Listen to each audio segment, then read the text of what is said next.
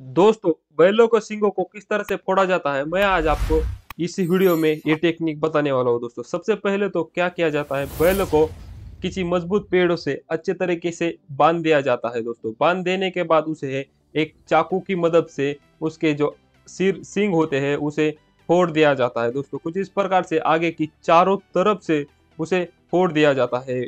और ये फोड़ देने के बाद दोस्तों है दूसरे चाकू की मदद से दोस्तों उसे घिसा जाता है दोस्तों। घिस घिस के चारों तरफ़ से उसे मुलायम किया जाता है दोस्तों। मुलायम करने के बाद दोस्तों उसे है, लगाना ज़रूरी रहता है और उस कुछ इस प्रकार से ड्रिल मशीन बनाई हुई है दोस्तों उन्होंने और उससे रस्सी से खींच खींच खींच के होल निकाला जाता है दोस्तों। ये टेक्निक आपको कैसी लगी कमेंट सेक्शन में ज़रूर बताइए। अगर वीडियो पसंद आए तो वीडियो को लाइक करें, शेयर करें और सब्सक्राइब करना ना भूलेगा जय जवान, जय किसान।